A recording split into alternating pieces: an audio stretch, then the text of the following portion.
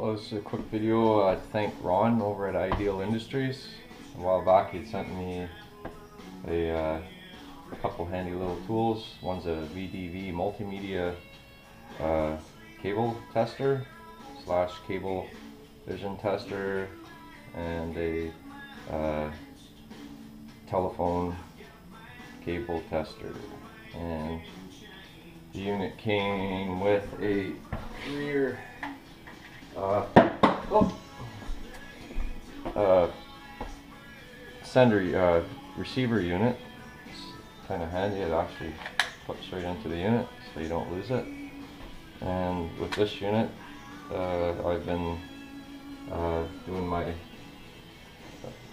LAN and telephone install and checking each connection as I make them and uh, it was kind of nice because on this one that I'm particularly just about to test I had a uh, I think pins uh, 7 and 8 were failed uh, using keystone jacks.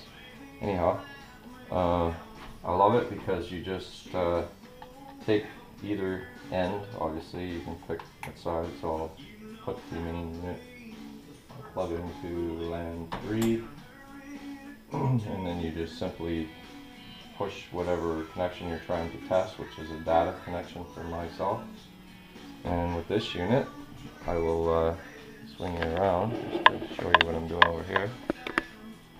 Uh, I pre uh, connected a Keystone RJ45 jack over here. And you just simply plug into here. And this unit will, the remote will send its information back to the main unit. And if we're lucky uh, we should see, well you can see that, however it's telling me it has no shield and pins 1 through 8 have passed, which is awesome because it saves you so much headache, uh, you know, like by doing all your wiring obviously and then some people may have closed up their whole instruction and then found out that, oh, you know, it might not be at the jack itself, which is easy to fix. Obviously, it could be in the wiring along the run, and then you'd have a nightmare. So, once again, I'd like to thank you, Ron, for sending me those units, and uh, I can't thank you enough. So, and it uh, put meat on the table for me. Thank you.